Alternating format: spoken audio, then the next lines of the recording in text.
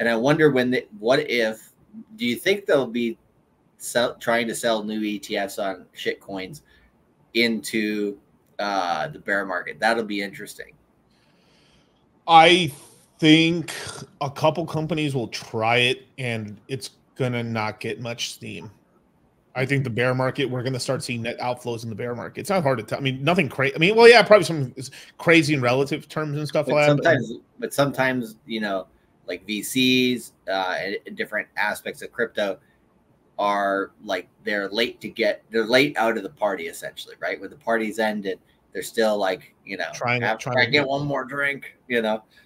I mean, I think maybe they'll do it, but I think it won't have any effect other than the temporary. Oh no, that's that's what I'm saying yeah. is it catch a lot of people like off guard because they were like, I trusted Wall Street. They told me the bull market was trusted Wall Street. What a famous last word.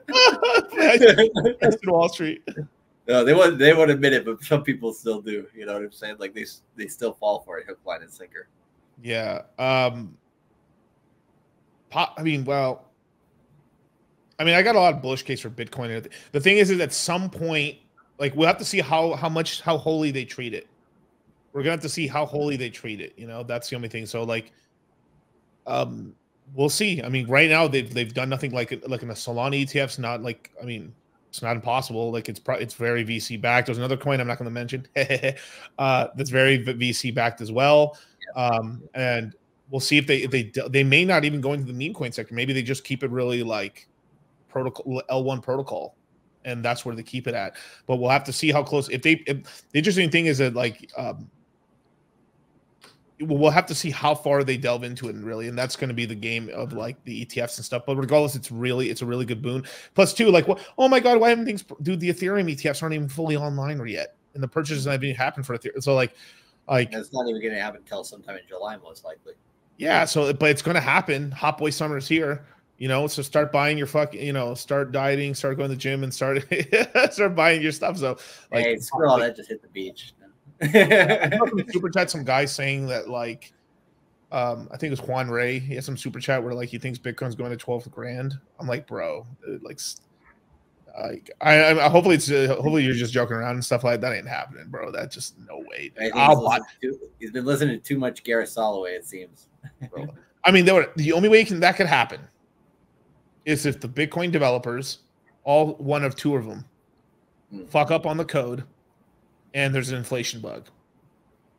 The that's really hopefully not, but like that's the only way I could see that happening. Besides that, I'm a willing retard to buy it at that low price. That ain't happening, bro. It's like Bitcoin gets anywhere near back down to the 20s or 15,000s, bro. It's not hitting 12, bro. That's not happening. Yeah. I mean, like, again, something crazy would have to happen to world markets for Bitcoin to drop that much too. Like especially after the halving. So like, mm, let we could look at the chart later or something. But like, I'd be like saying like I'm very confident Bitcoin.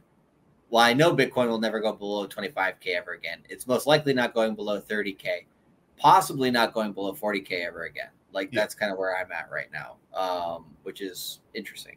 Especially after this next pump, because uh, like now's the time. If it was going to go below 40, this is the time if it's going to happen. But if we start ramping back up, that didn't happen anymore. Yeah, the, the long it's we right now. Okay, so there's going to be different hourglasses that we have to spin when we come to cycles, right?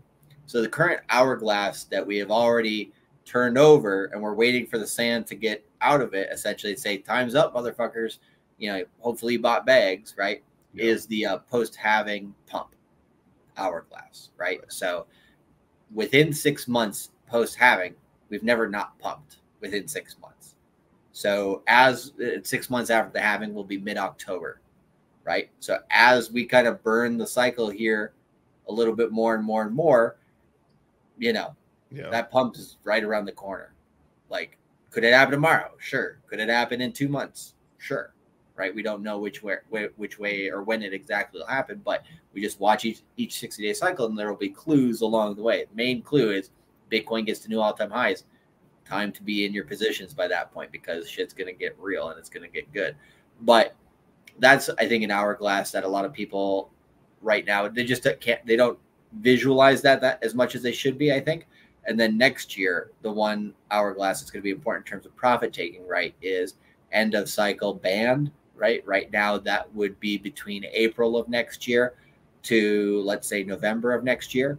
And then as we get into that and we kind of time starts going narrower and narrower, right? We get more top singles potentially as we get deeper into that band. Um, you know, more aggressive profit taking should be had.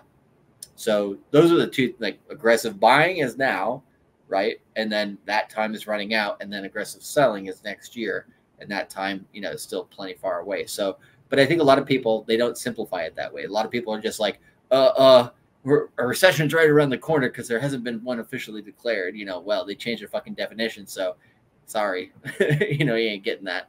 It's not I going mean, back down to 12k.